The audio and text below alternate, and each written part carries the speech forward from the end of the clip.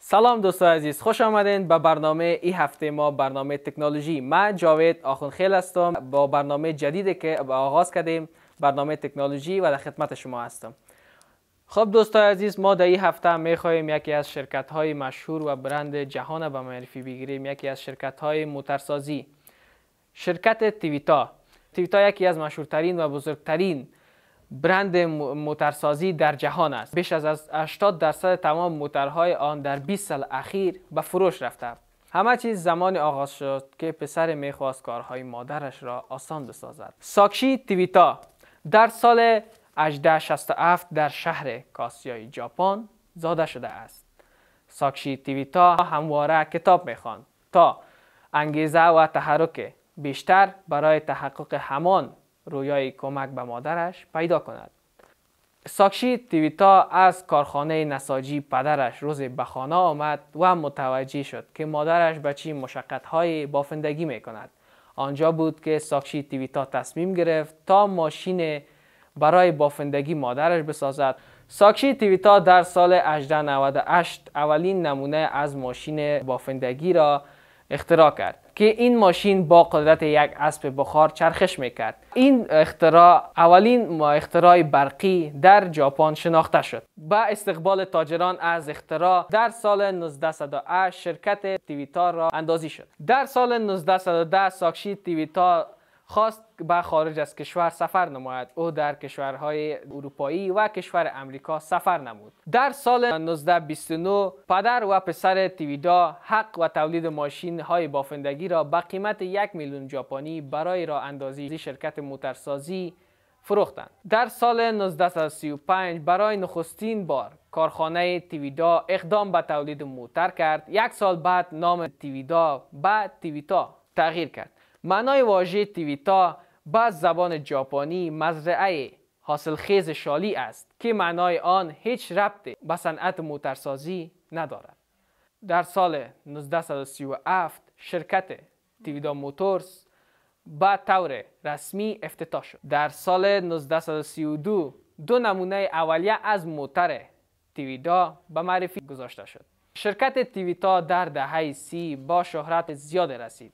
در اخیر دهه چل همزمان با پایان جنگ جهانی دوم شرکت تیویتا تقریبا به شکل کامل نابود شده بود. و این امر سبب شده بود تا کاشیو تیویتا پسر ساکشیا تیویتا از سمت ریاست این شرکت کناره گیری کند. در سال 1952 با مرگ کاشیرو تیویتا به مسئولیت این شرکت به دوش پسرش ساشیرو تیویتا و پسر کاکایش آکیو تیویتا قرار گرفت. آنها با الهام از شرکت های موترسازی امریکا خط تولیدی تیویتا را بهینه سازی کردند که در نتیجه در سال 1955 برای نخستین بار صادرات موترهای تیویتا به خارج از ژاپن آغاز شد. در آن زمان بزرگترین بازار خرید موترهای امریکا بود. اولین موتر شرکت تیویتا که به امریکا صادر شد تیویتا کرون نام داشت.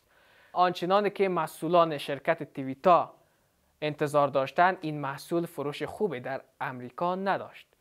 تیویتا کرون سازگاری خوب با جاده های امریکا نداشت. ماشین این خیلی زود گرم می آمد و مصرف تیل آن هم زیاد بود.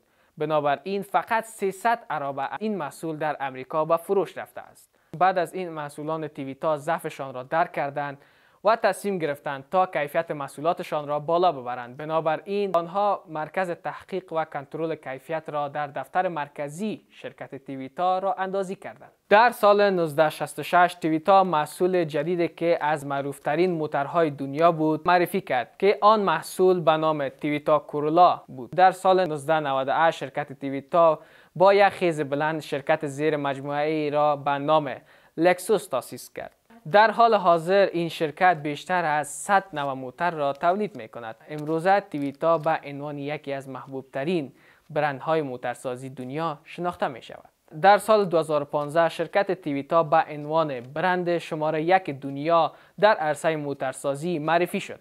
درآمد شرکت تیویتا در سال 2016 248 میلیارد دلار اعلام شده که مفاد خالص آن 20 میلیارد دلار بوده ارزش مجموعی دارایی های شرکت تیویتا 419 میلیارد دلار تخمین زده شده است. در سراسر ژاپن 12 کارخانه ساخت موتر تیویتا وجود دارد. شرکت تیویتا 16 درصد سهم در شرکت سوبرا دارد و همچنان شرکت تیویتا 6 درصد سهم در شرکت ایسوز دارد. تیویتا نیز صاحب یک شرکت بازی های کامپیوتری به اسم ریت entertainment می باشد. بر علاوه تولید موتر شرکت تیویتا به همکاری شرکت میتسوبیشی اقدام به تولید هواپیما نیز کردند.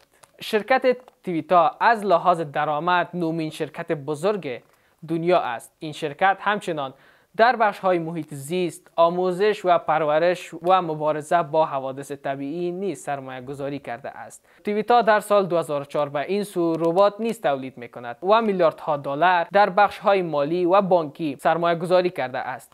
تیویتا همچنان ماشین های مدرن و با کیفیت بالای بافندگی خیاطی و نساجی را تولید می کند. خب دوستان عزیز این بود برنامه تکنولوژی این هفته ما. تا به هفته های بعد و معلومات های جدیدی که پیش شما قرار می گیریم و با شما شریک می سازیم شما را به الله متعال سپاریم البته یادتان نره صفحه یوتیوب ما را subscribe کنید.